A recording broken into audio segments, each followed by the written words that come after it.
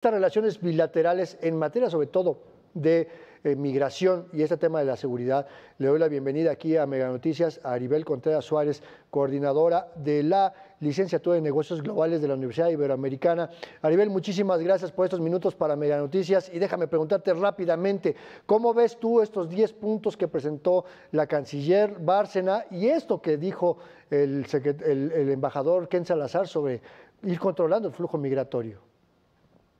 Muy buenas noches y un gusto para estar contigo, Andrés. Sin duda, pues esta reunión y este encuentro bilateral eh, nos sorprende a que por fin vemos acciones ya muy concretas. Me parece que llega ya muy tarde. Es decir, ya cuando la olla express está explotando, es cuando entonces ahora sí ya eh, van a homologar cifras, entonces ahora sí ya se va a tener una reunión en el Darién, que es un un terrible eh, migratorio entre Panamá y Colombia, por donde ingresan no solamente migrantes de la región, sino también ya están ingresando muchos asiáticos. Eh, interesante ver que eh, escuchemos al embajador Ken Salazar hablando sobre el reconocimiento del lado de Estados Unidos de que el 70% de las armas que ingresan al territorio mexicano pues son armas de Estados Unidos y que ingresan de manera ilegal. Yo creo que ya se estaban tardando. Qué bueno que, aunque sea tarde, llegue eh, estos esfuerzos, este reconocimiento y esta manera de trabajar de manera conjunta, no solo México y Estados Unidos, Andrés,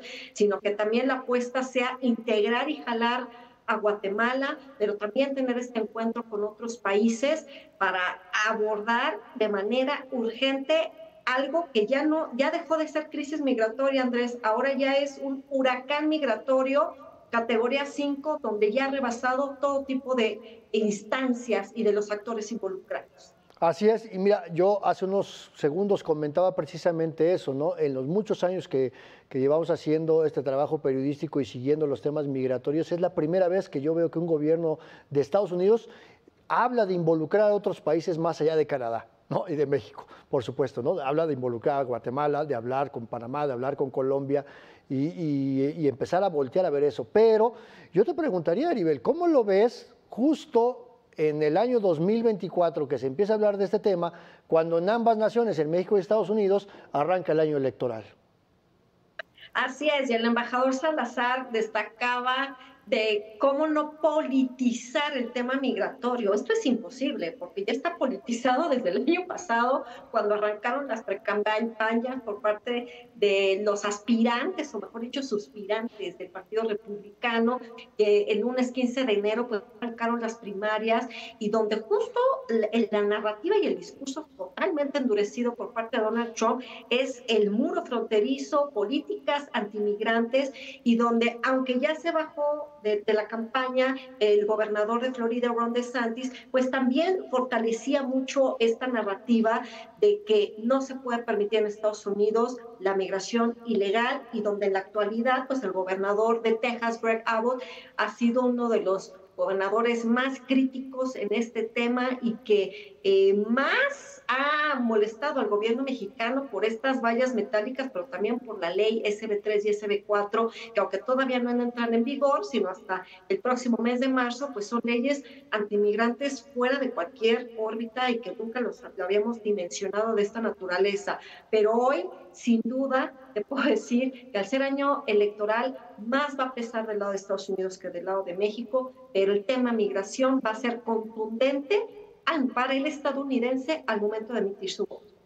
Y hay un asunto muy interesante ahorita que, recuerdas a, este singular personaje Greg Abbott, ¿no? no solamente las leyes que criminalizan la migración, eh, las boyas famosas que puso en el río Bravo, las mallas metálicas, esta declaración tan eh, este, estridente que hizo, por decirlo menos, de que pues lo único que le faltaba era disparar a los migrantes, pero pues no lo hacía porque lo iban a meter a la cárcel. Ya trae un pleito casado con el gobierno federal de Estados Unidos. Y esta otra que dices, Ron DeSantis, que traía también esta idea de eh, endurecer cualquier medida y decir vamos a cerrar completamente la frontera y vamos a mandar al ejército estadounidense a México, en ese rollo intervencionista. Y, pero justamente el, el Partido Republicano y sus aspirantes han sido pues duros, ¿no? Esa línea dura para tratar de ganar el voto duro de la población blanca mayoritaria en Estados Unidos. Y hasta ahorita Joe Biden ha sido muy, muy prudente al hablar del tema de migración y se ha mantenido en ofrecer lo que hasta ahora ha hecho como presidente. Pero vemos del lado mexicano, eh, Aribel, que hasta este momento pues no ha sido tema de nadie de las personas que aspiran a la presidencia de México.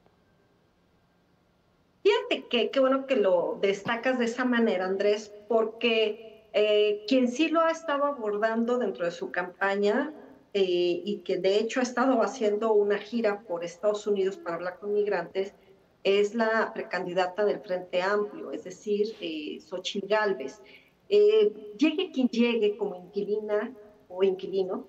eh, al, a Palacio Nacional, sin duda uno de los mayores retos va a ser el tema migratorio, más allá de la relación bilateral con eh, Estados Unidos, internamente, ¿qué va a pasar con los migrantes? Porque eh, hay mucha especulación, se dice mucho de cómo el oficialismo aprovecha esta manera de recibir a los migrantes para darle la clave única de población. Eso les ha permitido tener una credencial de identificación, que es una credencial para votar y que esos migrantes van a votar. O sea, ¿y, por qué van a votar? Pues porque nos está cobijando y arropando, ¿no? Entonces, a mí esta parte me, pesa mucho como mexicana ver que se utiliza eh, también del lado de México el dolor y la necesidad de los migrantes para utilizarlos con fines políticos.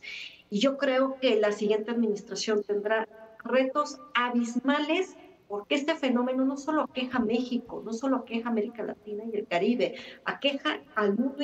este, la comunidad internacional. Y por eso es que he dicho desde el año pasado que lo que urge es que la Organización Internacional para las Migraciones con sede en Ginebra, que es un brazo de, de las Naciones Unidas,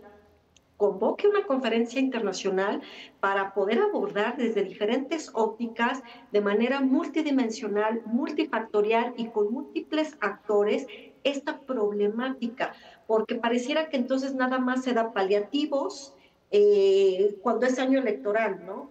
Pareciera que nada más se encuentran soluciones a medias porque ya la presión mediática o de ONGs es muy fuerte pero el problema migratorio es un problema global que tendrá que ser resuelto desde diferentes visiones globales, en el caso específico de México, con una visión de responsabilidad compartida, tanto con nuestro vecino del norte, pero también con nuestros vecinos del sur, que cada vez yo observo y veo con mayor claridad cómo se lavan las manos, le avientan el problema a México y hay que México se entienda con Estados Unidos. Entonces, eh, yo creo que todavía nos falta mucho por avanzar, más allá de quién esté en la Casa Blanca o en Palacio Nacional, es un desafío que tendrá que ser eh, analizado eh, ahora sí que de manera sistémica. Pues sí, y habrá que ver, porque quien llegue a la presidencia de la República no solamente tendrá que hablar de la relación con Estados Unidos, como bien lo apuntabas, tendrá que hablar de la relación con países expulsores, y estamos hablando de países del sureste asiático, de países del continente africano, de, países de Medio Oriente. Bueno, a nivel Contea Suárez, coordinadora de la licenciatura de Negocios Globales de la Universidad Iberoamericana, muchísimas gracias por estos minutos para Mega Noticias. Un fuerte abrazo y muy buenas noches, Andrés. Hasta pronto.